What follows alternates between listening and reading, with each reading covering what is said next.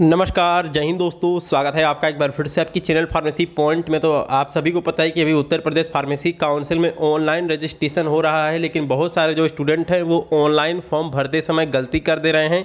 वो कोई डॉक्यूमेंट को अपलोड करना भूल जा रहे हैं, जैसे फ़र्स्ट ईयर की मार्कशीट को वो अपलोड नहीं कर रहे हैं या फिर कोई गलत डॉक्यूमेंट अपलोड कर रहे हैं। तो देखिए, उसके बाद क्या हो रहा है कि अगर आप अपना स्टेटस चेक करेंगे तो आपके सामने कुछ इस तरह की क्वेरी यानी कि ऑब्जेक्शन देखने को मिल रहा है।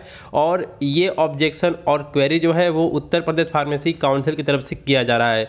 तो देखिए, यहाँ पे इस स्टूडेंट ने अपना फॉर्म भरा है और यहाँ पे इनके पास क्वेरी आई है कि first year marksheet and internship certificate section four and five not found तो इन्होंने फ़र्स्ट ईयर की मार्कशीट को अपलोड नहीं किया है और जो इनका इंटर्नशिप सर्टिफिकेट है, उसके अंदर सेक्शन फाइव और सेक्शन फोर जो है, वो नहीं शो हो रहा है। तो देखिए, इस तरह की क्वेरी आपके एप्लीकेशन पे भी आ सकती है। तो इसलिए जब आप लोग ऑनलाइन रजिस्ट्रेशन कर दे रहे हैं फ़ीस पेमेंट कर दे रहे हैं और आपकी स्लॉट बुक हो जा रही है तो उसके बाद आप लोग अपना स्टेटस ज़रूर शो करें और उसको चेक करते रहें। अगर वहाँ पे कोई क्वेरी आ रही है तो उसका आपको रिप्लाई देना है। तो आपको उसका रिप्लाई कैसे देना है? और अगर आप कोई डॉक्यूमेंट्स को अपलोड करना भूल गए हैं और उस पर कोई ऑब्जेक्शन आ गया है तो आप उसका रिप्लाई कैसे देंगे? उसका सॉल्यूशन क्या है? उसके लिए मैं अलग से वीडियो बना दूँगा, लेकिन आप यहाँ पर देख सकते हैं कि इस तरह की क्वेरी यहाँ पर आ रही है कि इन्होंने फ़र्स्ट ईयर की मार्कशीट अपनी अपलोड नहीं करी है। तो जिन भी स्टूडेंट ने अपनी फ़र्स्ट ईयर की मार्कशीट अपलोड नहीं करी है,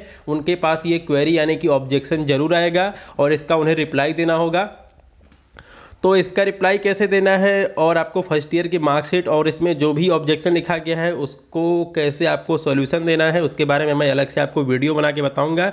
लेकिन यहाँ पे कहने का मतलब ये है कि अगर आप कोई डॉक्यूमेंट्स को अपलोड नहीं कर पाते हैं या फिर अगर आपने कोई गलत डॉक्यूमेंट्स अपलोड कर दिया तो आपको इस तरह का ऑब्जेक्शन यानी कि क्वेरी देखने को मिल सकती है। तो दोस्तों, आपको ये वीडियो कैसे लगी? आप इस वीडियो को लाइक करें, साथ में चैनल को सब्सक्राइब करें बेल नोटिफिकेशन को ऑन रखें, जिससे कि आने वाली सभी अपडेट्स आपको तुरंत मिल सके। तो आपका ये वीडियो देखने के लिए धन्यवाद। जय हिंद। second